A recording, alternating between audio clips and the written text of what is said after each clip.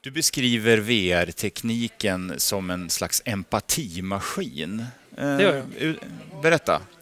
Jo, det handlar om att eh, med VR så kan man få känslan av att vara på en annan plats. Inte bara se det på en skärm eh, eller läsa en tidning utan man, man får känslan av att stå i ett flyktingläger. Och eh, stå i ett flyktingläger och ser hur en liten tjej står bredvid mig och gråter, då känns det liksom mycket mer än vad jag ser på en film eller läser en tidning. Så därför kallar jag det empatimaskiner. Vad kan vi använda empatimaskinerna till då? I all form av viktiga värderingar och viktiga budskap som måste nås ut. Eh, och eh, för att just det här med starka känslor är nästan det som, eh, som bryter igenom våra bullshit-filter som vi bygger upp vi människor. Eh, och därmed, därmed kan användas på alla möjliga viktiga ställen i samhället. Samtidigt så efterlyser du att det finns kunskap om VR-pedagogik. Du menar att det eh, nästan inte finns någon? Jag skulle säga att det, det, finns några plattformar i världen som har börjat testa på det, men det är också bara på experimentstadiet, på labbstadiet. Eh, pedagogik är vi jättebra på i Sverige och i världen, men att använda teknologin för att eh, förstärka det där är det ganska dåligt om. Så att, eh, jag skulle önska att det fanns fler projektledare som förstod sig på teknologin, utbildade sig på det och satte igång och göra material. Det låter som en framtidsbransch. När, när kommer det då, tror du?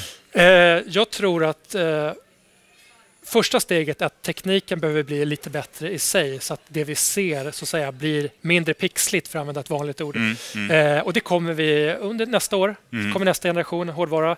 Eh, och sen åren framöver så kommer teknologin bli ännu bättre så att till slut, om kanske 5-10 år, så ser vi inte skillnad på verkligheten och det vi ser i våra VR-hjälmar. Och då kan du då kan man diskutera andra saker. Vad är det, vad är det som är verkligt? Liksom? Mm, mm. Men då blir det ännu lättare att, att uh, jobba med starka budskap och begrepp som faktiskt kan påverka människor, empatimaskinen.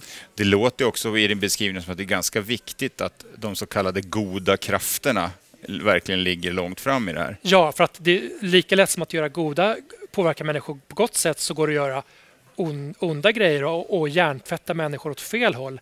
Så att det är viktigt också att vi börjar prata om de etiska frågorna. Vem har ansvaret för att inte det blir massa dåliga grejer. Och eh, framför allt också det här med när ska man introducera VR för barn? Mm. Det, det pratade jag sist i min, min podcast om veckan om att för att jag, jag möter många småbarnsföräldrar. För barnen kommer, hej jag vill testa VR och så ser jag inte vad mina barn gör och det är ännu enklare än någonsin att påverka dem positivt och negativt. Mm. Så att den frågan måste lyftas. Ja.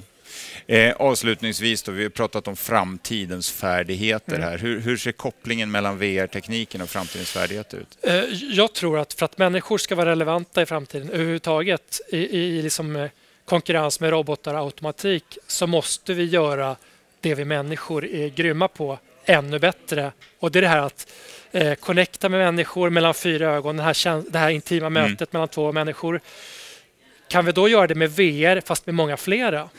Och på mer distans. Att få här, den här känslan, fast du sitter i New York mm. eller i Sydafrika, så kommer det koppla ihop världen ännu starkare. Och då gör vi det som vi är bäst på och kan då konkurrera med de här robotarna automatik.